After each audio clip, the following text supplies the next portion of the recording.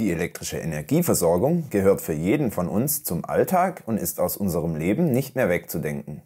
Der Strom kommt aus der Steckdose, wenn man ihn braucht und so viel man braucht. Darüber, wie das eigentlich genau funktioniert, machen sich die wenigsten Gedanken. Doch dahinter steckt eine komplexe Infrastruktur, die sich durch die Energiewende in Deutschland gerade in einem deutlichen Wandel befindet. Wie das Stromnetz aufgebaut ist und funktioniert, erfahrt ihr in diesem Video. Außerdem betrachten wir, was sich am Stromnetz durch die Energiewende ändern muss und wie unser zukünftiges Stromnetz nach dieser Energiewende aussehen könnte. Und damit hallo und herzlich willkommen bei Ingenieurskunst. Das elektrische Netz ist in mehreren Netzebenen aufgebaut, die anhand der Spannung unterschieden werden.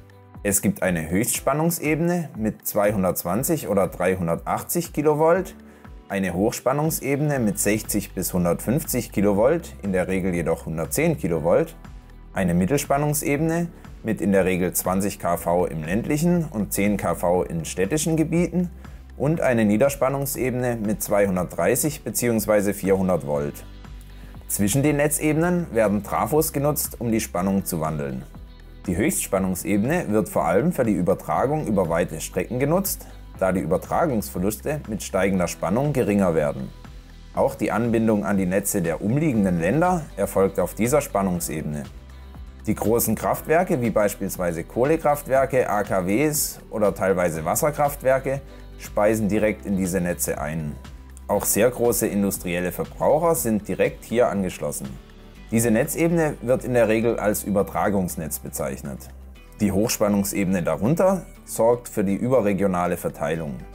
Teilweise sind auch hier große Verbraucher und Erzeuger angeschlossen. Auf der Mittelspannungsebene erfolgt die regionale Verteilung in der Gemeinde oder Stadt.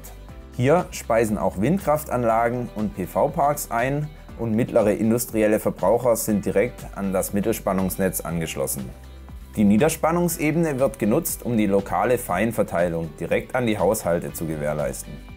An einem Trafo hängt hier meist ein Straßenzug oder ähnliches mit einigen Häusern. Es werden also nur die letzten Meter zum Verbraucher über Niederspannung angeschlossen.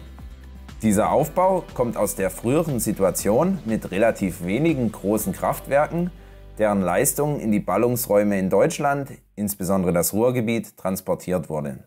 Durch die Energiewende und den Atomausstieg nimmt der Anteil an erneuerbarer Erzeugung heutzutage deutlich zu und die Anzahl großer Kraftwerke geht gleichzeitig zurück.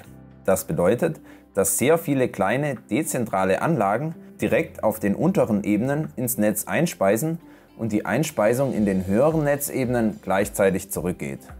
Lediglich große Windparks und Wasserkraftwerke speisen zukünftig noch ins Höchst- und Hochspannungsnetz ein. Während Kraftwerke meist in der Nähe von Ballungsräumen gebaut werden konnten, wo der Verbrauch am größten ist, werden Windkraftanlagen und PV nur noch zum Teil dort errichtet. Man muss sich hier mehr nach lokalen Gegebenheiten richten, wo die Erzeugung auch sinnvoll ist, es also beispielsweise viel Wind oder Sonne gibt und auch der notwendige Platz vorhanden ist. Die Übertragung findet dadurch eher in Trassen und oft über längere Strecken, je nach Wetter und Erzeugungsbedingungen statt. Beispielsweise Windstrom von Nord- und Ostsee in den Süden hier werden in Zukunft auch verstärkt HGÜ-Trassen zum Einsatz kommen. Wenn euch interessiert, wie das funktioniert, schaut euch auch das Video dazu in der Infokarte an.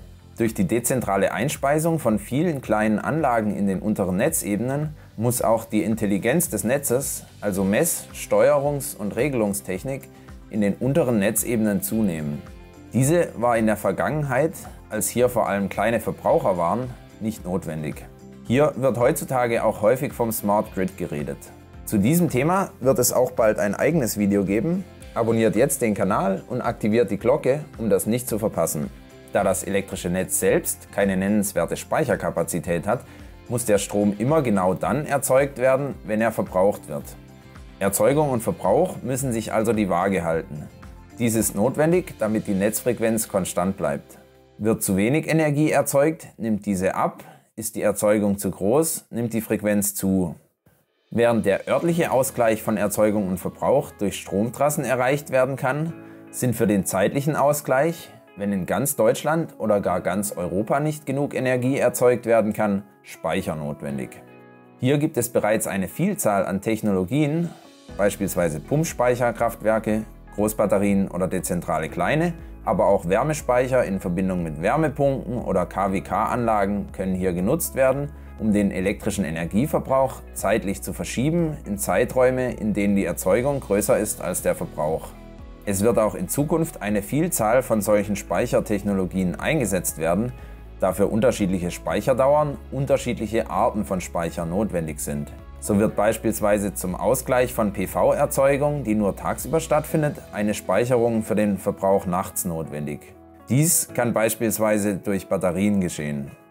Für eine sogenannte Dunkelflaute dagegen, wenn es längere Zeit durch das Wetter weder viel PV noch Windstrom gibt, benötigt man auch Speichermöglichkeiten über mehrere Tage oder gar Wochen. Dabei ist der Einsatz von Batterien nicht mehr sinnvoll. Aber auch hier können Technologien wie beispielsweise synthetisches Gas, das sehr lange gespeichert werden kann, Abhilfe schaffen.